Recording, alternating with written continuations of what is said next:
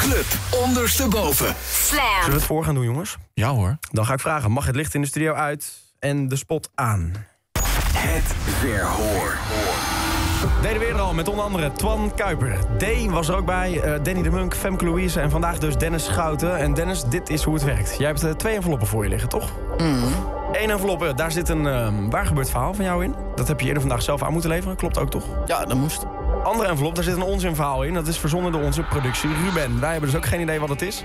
Ehm, je mag zo direct één envelop open gaan maken. En dan ga je voorlezen welke zin daarin zit. En op dat moment begint het verhoor. En dan mogen Bram en ik 60 seconden lang jou gaan verhoren. En aan het einde van de rit is het de vraag aan de luisteraar... is het verhaal waar of niet waar? Ja, en eh, wie gaat het vooral kiezen?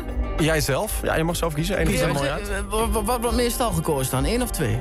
Vaak wel twee. Dan kies ik één. Heel goed, lekker tegendraad. Wat bedoel ik?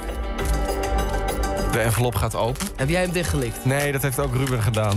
Jammer, jammer, je handjes wassen met zo meteen. speeksel. eh, Nee, helaas niet, maar dat kan straks misschien. Ik mag hem voorlezen. Ja, ga je gang. Ooit heb ik met een meisje gezoend... terwijl mijn vriendin daarbij was. Het verhoor. Wanneer was dit? Ja, dat is lastig. Dat, ik denk dat ik toen een jaar of...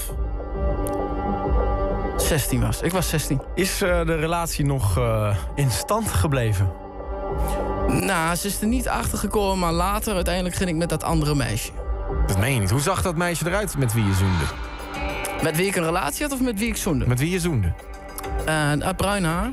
Heeft het tegenwoordig over zijn blond geverfd, porno blond. Ze is er niet mooier op geworden.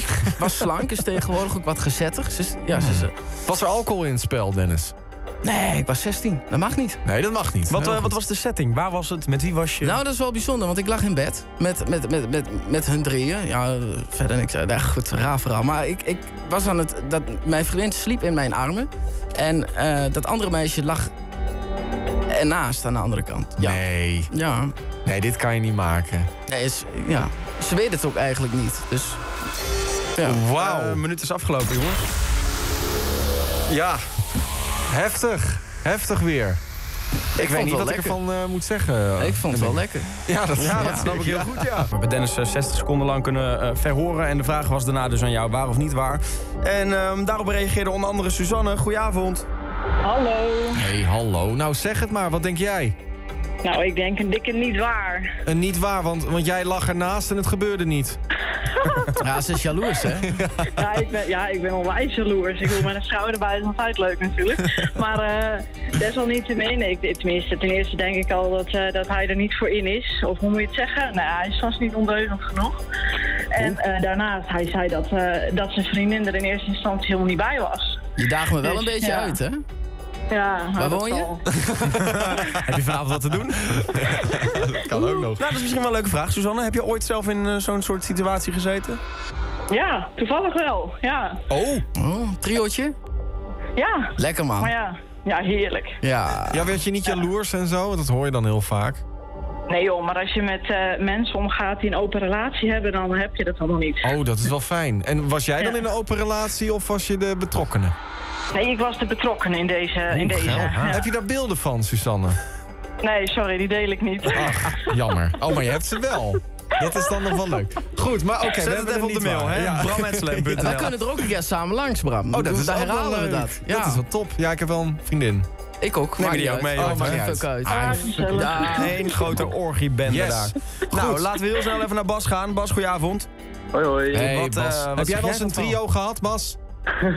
Nee, nee, nog niet. Helaas, helaas. Goed, sorry. Tom, Doe ga het ook met Bas? Ja, tuurlijk. Lekker, man. Nee, Tom, ga verder, sorry. Bas, wat zeg jij van het verhaal van Dennis? Ja, ik zeg waar. Waarom? Oh, ja, ik zie het hem wel echt doen. Ik kijk al zijn filmpjes. Het is, het is, het is gewoon echt zo'n boefje.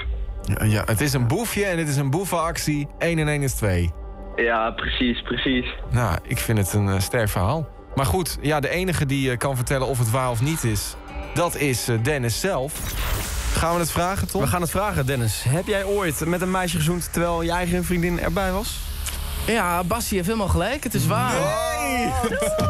Ja, ja. Wat goed, van harte gefeliciteerd! Yes!